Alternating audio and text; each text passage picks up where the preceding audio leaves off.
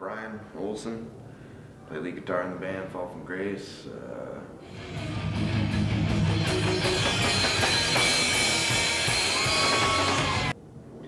that's about it. My name is Kenny Bates. Uh, I've been playing drums now for about 12 years.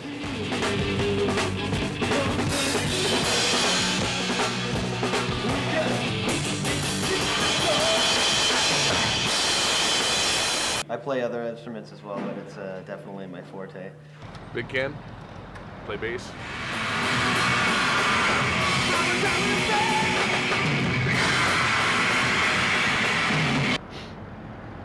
I drink a lot of beer. I drive a lot. Got a job and shit. A couple of dogs. It's cool. Uh, my name is Trig Sebastian Littlefield. I play guitar and sing in Fall from Grace.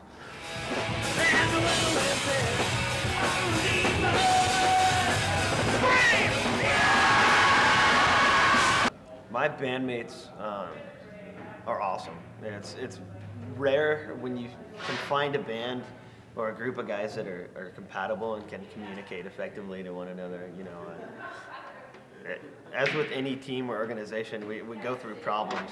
Fucking assholes. There isn't a day that goes by that I don't want to strangle each and every fucking one of them. But what helps with getting through those problems is the communication. We don't have a problem talking to each other and expressing what we're going through. But I love them still, you know. I love them. They're pretty much my family. I'm, I'm with them every day. Couldn't uh, ask for better people to play with. They're my brothers, man. They're the first time that I can honestly say, um, you know, I've played in other bands here and there and stuff, but I've been with these guys, been with, with the Kens and Brian for about a year and a half now, and I've known them, known all these guys for about five, five, six years, and um, they, uh, they're, they're my family, dude. I mean, I love them like, like my brothers, the most genuine people I've got in my life. You know, we're, we're a family. We're tight. We're a crew. And you have to be in order to be able to do this. You know, it doesn't, it doesn't just fall together. So they're rad. I love them. I wouldn't change out our lineup for the world. Except for Trig. Yeah, I did it, but I got gonna do baba did it he one out.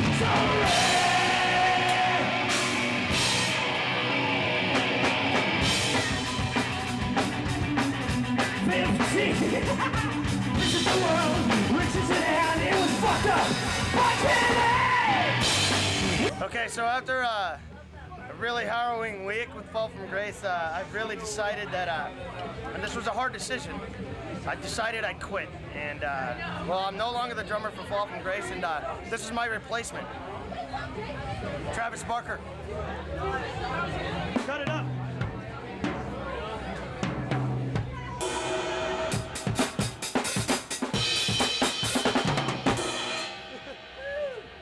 Way better than me. Okay.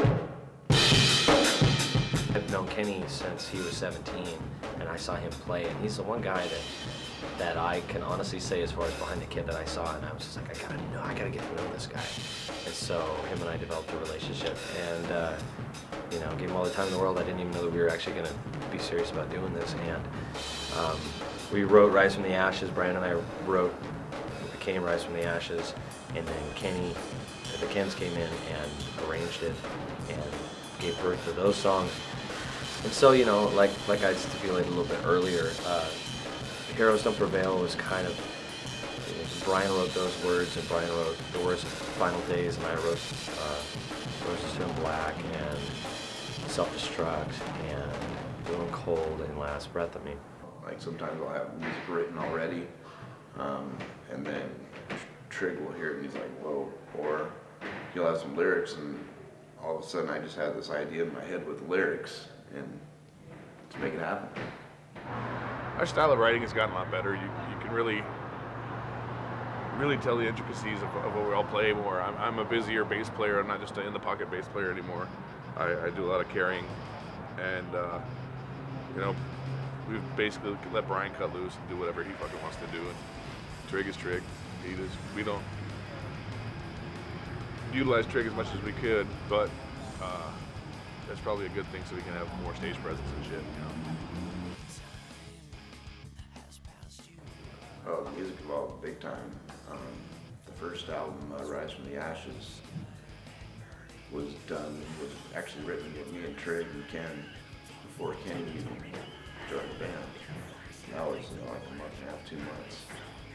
And then uh, Kenny joined and uh, recorded the album Rise from the Ashes like a month after we were together.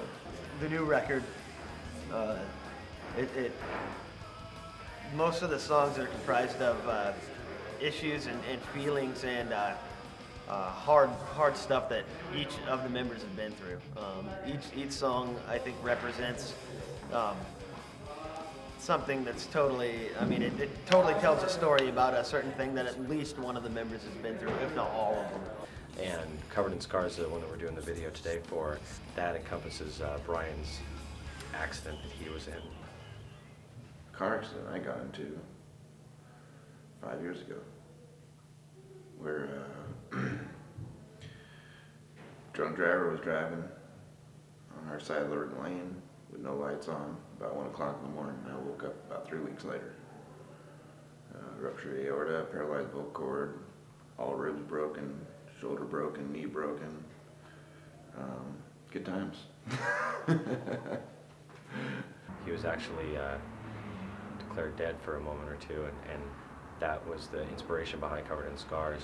I can't say it's my favorite song on the record because I love them all, but it definitely is uh, one of the most powerful songs on the record.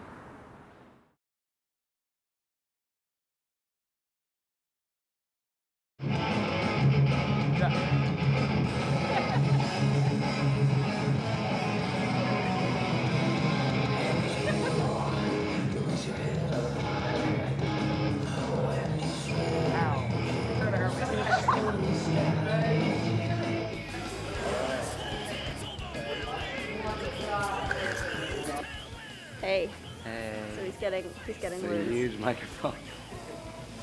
My Yeah. voice is all messed up. Look at that. Um, well, he's he's cut. You see, you see the cut.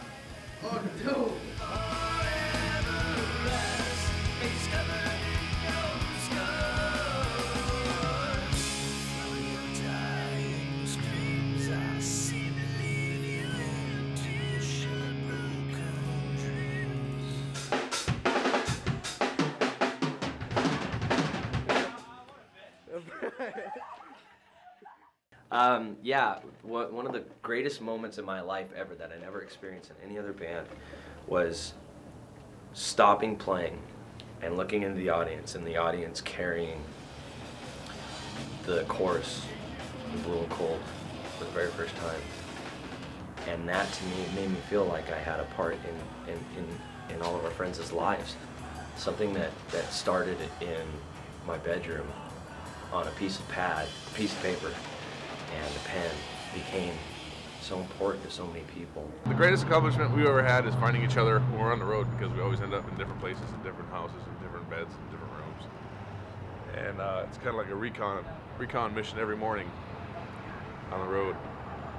Thank God for cell phones. In the short run, um, I expect that uh, in a year we'll uh, we'll be signed and on the road, and uh, we'll we'll keep uh, we'll keep rolling up the ladder as uh, a powerhouse in Washington State. the short one to fuel my uh, my appetite to write music and write good music, and um, in the long run, the same. You know, I, I plan on playing music for a long time, so go figure. Um, for the long run, uh, we're gonna do our best to take over. We don't want to stop. You know, once we hit the road, I don't foresee us uh, coming back for too long and staying at home.